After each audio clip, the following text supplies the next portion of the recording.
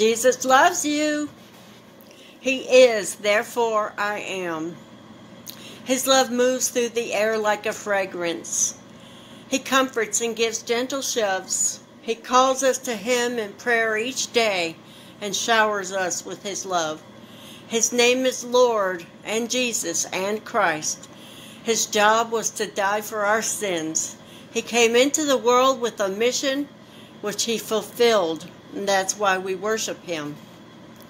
He loves us no matter our temperament. He gives to us freely our space. He waits for us to choose Him until one day we meet face to face.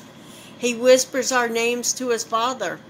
He waits and watches each day and each night. He calls to us even in our slumber, and He guides us to keep up the fight. Show the world that you are a Christian. Show the world all of your love. Show the world you will one day come to spend eternity with me up above. Blessings!